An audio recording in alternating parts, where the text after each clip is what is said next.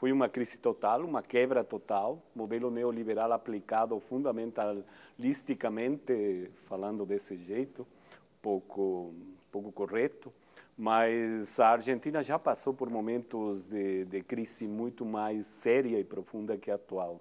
Atualmente, a crise é outra também. Ou seja, são elites, como no caso do Clarim, um, um oligopólio da comunicação, eram donos de todo papel, ou seja, se tu queria papel para qualquer atividade na Argentina, tu tinha que comprar para o Clarim.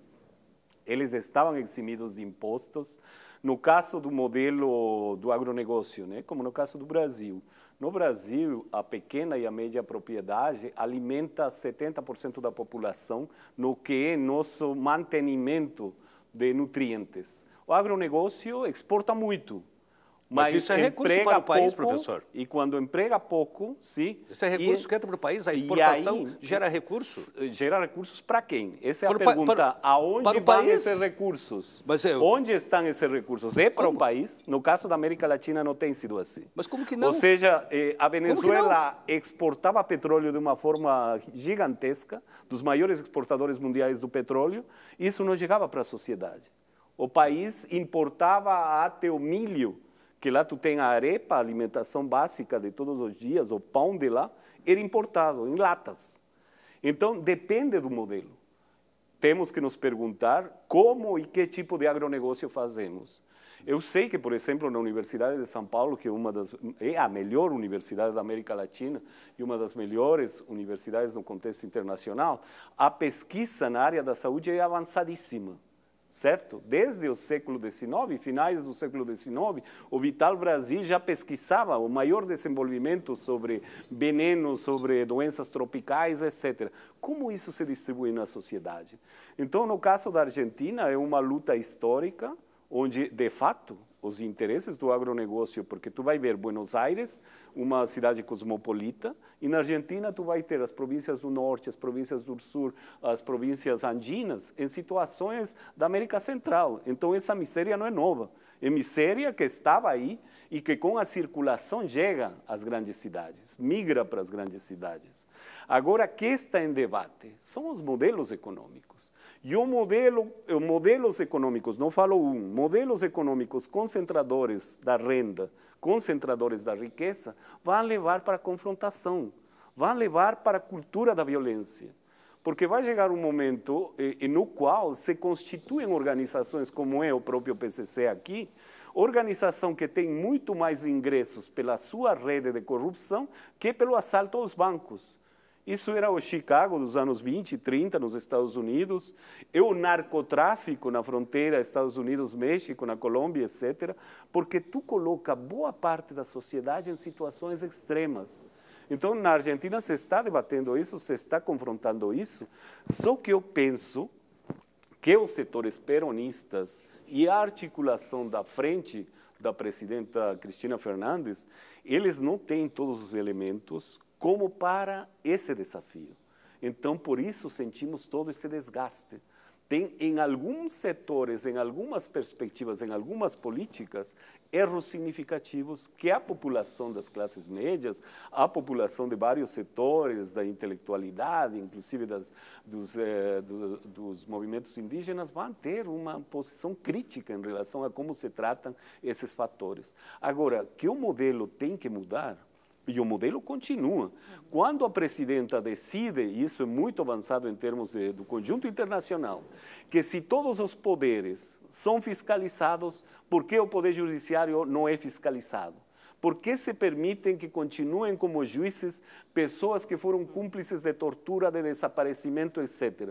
Está colocando um elemento de mudança crucial. E questões que devem ser pensadas e discutidas para as próximas eleições. Só para não passar batida a questão do agronegócio, o agronegócio gera riqueza para o país. E essa riqueza cabe é, ao governo fazer a sua devida aplicação. Governo que é fiscalizado pela população. E o agronegócio vem, assim, ó, só para ter um, uma ideia, pega o arroz, por exemplo. O arroz, ah, na década de 70, nós tínhamos uma produtividade de 2 eh, toneladas por hectare. Hoje nós temos 10 eh, toneladas por hectare. Porque a pesquisa avança, a produção avança. O que, que gera isso? Gera recursos para o país.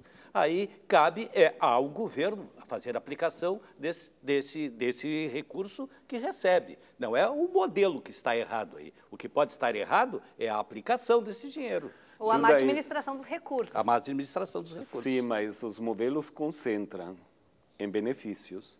Eu pergunto por que a TVE não recebe do governo federal, dos governos locais, muito mais, em, não tem publicidade, mas em apoios. Por que tem que estar concentrado na Globo? Por que meus impostos eu preferiria que chegassem para a TVE e não para a Globo? Mas o modelo fala que se tem que distribuir de acordo com a audiência de mercado. Claro, se eu tenho uma alta audiência, que por sorte está caindo significativamente, porque eu recebo a maior parte do bolo publicitário, aí o modelo é que não funciona. Eu não estou falando contra o agronegócio em geral porque existem diferentes modelos de agronegócio.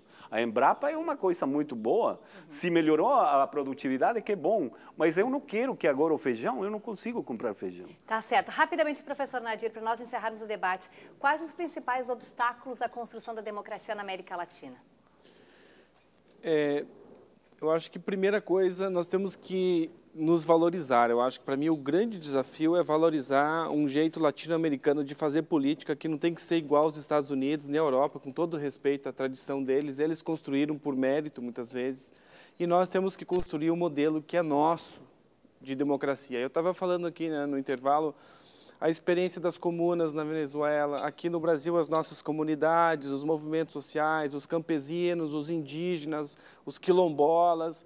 A gente tem que construir um modelo, os religiosos, né, que estão aí também no campo político, disputando espaço. Nós temos que construir uma democracia com, com essa cara nossa. Acho que esse é o grande desafio. E para aprofundar mais o assunto de hoje, nós vamos às dicas de livros e filmes dos nossos convidados. A primeira sugestão é justamente do professor Nadir, As Veias Abertas da América Latina, do Eduardo Galeano. Excelente obra, né, professor? Isso é um clássico simples para todo mundo que quer conhecer a América Latina, é a porta de entrada, que é um livro maravilhoso e todo mundo deve conhecer e fácil de ler. Já a dica do Jurandir é a Roleta Chilena, do Alberto Sirques. O que, que trata essa obra? Justamente da revolução né, de, do, do, Chile, do socialismo, a implantação do socialismo no Chile e depois né, o golpe de Estado do Pinochet que derrubou a ditadura. O Alfredo Sirques vivenciou tudo isso aí e relata de uma maneira muito clara. Já a dica do professor é metodologias de investigação em comunicação, perspectivas transformadoras na prática investigativa, que as pessoas encontram aqui. É, eu acho que é fundamental este momento juntar a pesquisa com os movimentos sociais, os movimentos culturais, os movimentos étnicos. Aí tem experiências de pesquisa, inclusive ganhamos um prêmio CAPES de tese trabalhando os processos de comunicação caigangues. Então, é, é, juntar tudo isso que se está transformando, pensando a ciência em termos de outra dimensão de realizar cidadania. E você que prefere filmes, está aí a dica então do filme Machuca também assisti, excelente também, né, professor Nadir? O que, que trata? Ah, muito. É, eu acho um livro excelente, é, desculpa, um filme excelente, assim, porque é justamente nessa fase da caída do Allende e a entrada da ditadura e a relação de dois menininhos que é maravilhosa, assim, muito sensível, assim. De como eles vêm todo esse processo, né? Exatamente. Já a dica do Jurandir é Casa dos Espíritos, também uma obra clássica. Também, e também está inserido nesse contexto né, de ditadura, de socialismo e tal, de toda essa história que o Chile viveu neste período. Já a dica do professor Efendi é o Sul da Fronteira. É ao sul da fronteira, um documentário do Oliver Stone, quatro Oscar, um autor crítico, né, vai colocar o caso da Venezuela, essa luta estadunidense por impedir o desenvolvimento de uma democracia própria venezuelana e juntaria com esse a revolução não pode ser televisionada que vocês encontram no YouTube. Tá ótimo. E mais algumas dicas para quem quiser ampliar o senhor me falava aqui do Instituto Cervantes. O Instituto Cervantes, em Porto Alegre, tem uma filmoteca muito importante com filmes latino-americanos. Tá aí a dica. Gente, muito obrigada pela participação de vocês e até a próxima. Obrigado. Bom, obrigado. Bom, foi... Obrigada. A você bom. que esteve conosco, obrigada pela sua audiência. Lembrando que o Mobiliza vai ao ar todas as terças-feiras às 11h30 da noite, com reprises aos sábados às 2 da tarde. Nós voltamos na próxima semana. Até lá.